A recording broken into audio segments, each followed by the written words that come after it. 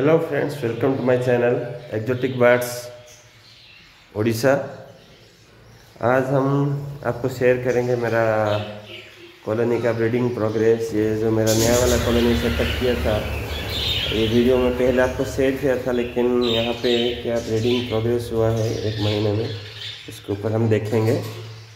ये देखिए, यहाँ पे अंडा लेके बैठा है फीमेल ने।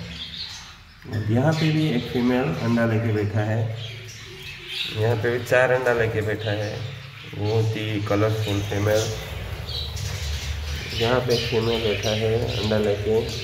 शायद अंडा लेके, ये अंडा ले गया है। ये खाली है।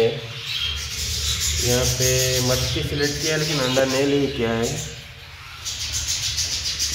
यहाँ पे भी मटकी सिलेक्ट किया है, अंडा नहीं ले नहीं किया है।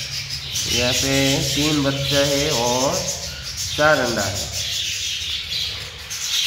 यहाँ पे भी तीन बच्चा है और एक दो अंडा है और मदर फ़ीड कर रहे हैं बच्चों को। यहाँ पे कुछ नहीं है। यहाँ पे कुछ नहीं है। यहाँ पे भी कुछ नहीं है। यहाँ पे भी कुछ नहीं है। और यहाँ पे एक मदर अंडा लेके बैठा है।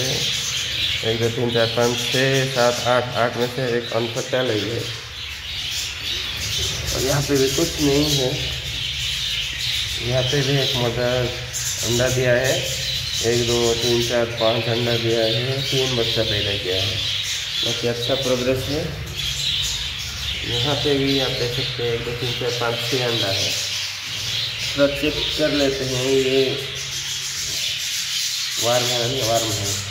क्या होता है ना कभी कभार क्या होता है मदर अंडा दे के छोड़ देता है, उसके बच्चिंग करता है, नहीं करता है उसके लिए चेक करने के लिए, आप उसको देख सकते हो, अगर कुछ गर्मी है, अंडा में, कुछ वार्म है तो वो मदर उसको हेचिंग कर रहा है।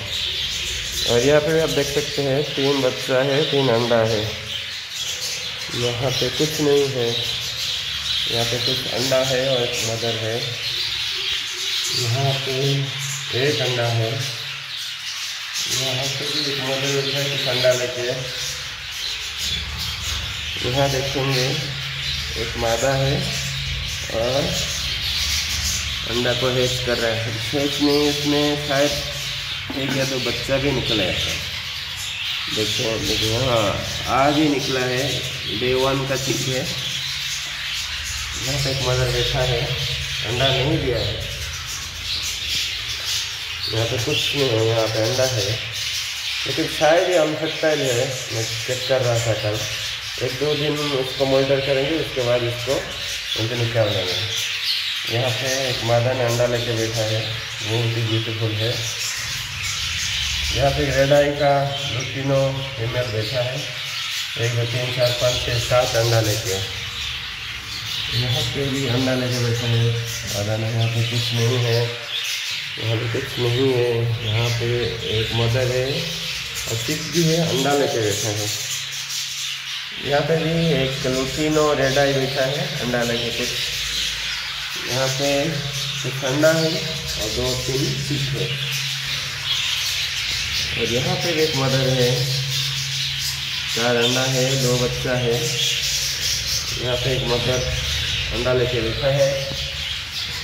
ऐसे करके आधा मार्च के मैं चेक किया हूँ पूरा नहीं चेक किया हूँ। क्योंकि बहुत टाइम लगेगा। यहाँ पे भी दो बच्चा है अंडा है। हालाँकि ये मेरा कॉलोनी एक महीना हुआ सेटअप किया। जब भी आप बाढ़ सिलेक्ट करेंगे ना पट्टे को सिलेक्ट कीजिए जैसे कि तीन महीना का बच्चा हो उन लोगों को सिलेक्ट कीजिए क्योंकि तीन महीना का बच्चा सिलेक्ट करेंगे तो वो आपके कॉलोनी के हिसाब से और परिवेश के हिसाब से एनवायरमेंट के हिसाब से एडजस्ट हो जाएगा। लेकिन अब जब एडल्ट बाढ़ लेंगे ना वो एडजस्ट में प्रॉब्लम होता है। और क्या पता वो, वो ब्रीडिंग कैसा करता होगा जो आपको दिया है। और एडजस्ट होने में प्रॉब्लम होता है। और जब अर्ली स्टेज में जो बच्चे से मतलब पट्टे से एडल्ट होता है उस टाइम का अच्छी तरह ब्रीडिंग करते हैं। और एडल्ट होने के बाद एनवायरमेंट चेंज करने पर उतना अच्छा ब्रीडिंग नहीं होता है। इसीलिए पट्टों को ही सिलेक्ट कीजिए तीन महीना का। एक दो महीना वेट कीजिए और अच्छे से खिलाइए। देखेंगे बहुत अच्छा रिज़ल्ट आएगा। यहाँ पे भी देखिए, मदर है, वो फिट करवा रहा है अपने बच्चों को और कुछ अंडा है। यहाँ पे एक मदर है, कुछ अंडा है, यहाँ पे भी। चाय कलर का, ये वाला दो बच्चा है और चार पाँच अंडा है। ऐसे करके कीजिए। पत्थों को ही सिलेक्ट करके लाइए। वेट कीजिए दो तीन महीना। एसेंस रखिए। आपका रिज़ल्ट अच्छा आएगा। नहीं तो क्या होगा, जब आप बज्जी ज़्यादा रखेंगे एडल्ट वाला, वो खाना खाएगा ज़्यादा, लेकिन रिज़ल्ट कम आएगा। और आपका जो एक्सपेक्टेशन होगा, ज़्यादा बच्चा पैदा करेगा, ये करेगा, वो हम देखेंगे। वो सब थोड़ा मतलब सक्सेसफुल इतना नहीं होगा। इसीलिए पत्थों को सिलेक्ट करने से अच्छा है। और ऐसे ही जानकारी वीडियो आपके साथ शेयर करने शेयर करूँगा मैं बार बार और बने रहिए मेरे साथ और मेरे चैनल को सब्सक्राइब कीजिए लाइक कीजिए शेयर कीजिए। मैं हूँ आपका अपना दोस्त संतोष। तो आज के लिए इतना ही। फिर नेक्स्ट टाइम और कुछ वीडियो लेके आऊँगा। धन्यवाद।